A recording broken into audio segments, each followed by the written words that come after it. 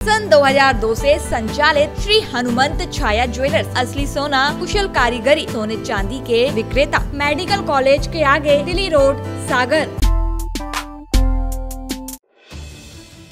बैतूल ज़िले के घोड़ा डोंगरी के रानीपुर रेंज के गाताखेड़ा में जंगली सुअर का शिकार करने वाले आरोपी को वन विभाग की टीम ने गिरफ़्तार किया। वहीं वन विभाग की टीम ने आरोपियों के पास से जंगली सुअर का मांस भी बरामद किया है।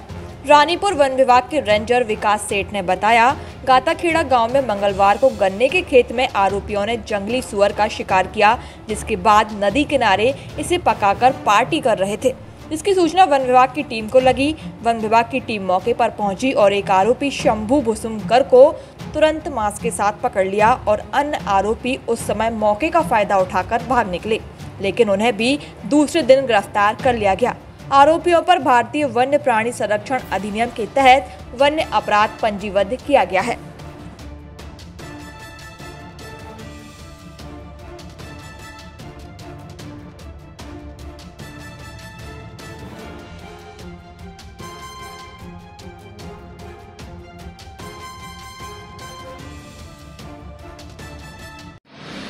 सुअर वाले मामले में क्या कार्रवाई हुई, सर?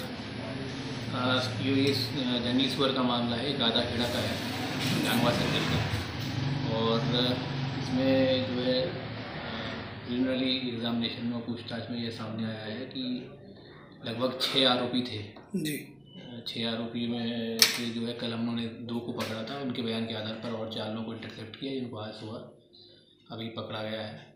और फर्दर इंक्वायरी के लिए जो ये इन्वेस्टिगेशन इसमें दी जाएगी की- जाएगी और बाकी माननीय न्यायालय के समक्ष भी प्रस्तुत किया जाएगा। और इनने कहाँ पे शिकार किया सर? शिकार इन्होंने गाताखेड़ा के पास ही किया था एक खेत में किया था शिकार करंट लगा के तो क्या पका वका रहे थे क्या कर हाँ पका रहे थे नदी के किनारे।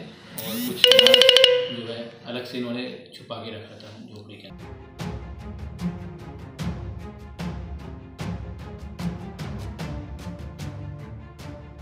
बैतूल, घोड़ा डोंगरी से विनोद पातरिया, सागर टीवी न्यूज़।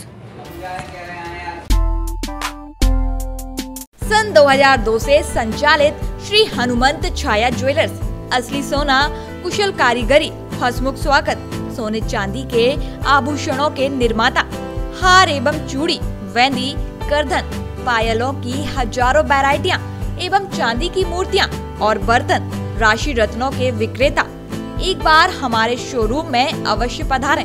हमारा पता है मेडिकल कॉलेज के आगे Delhi road, Sagar S C J branch to Sarafa Bazaar, Sagar.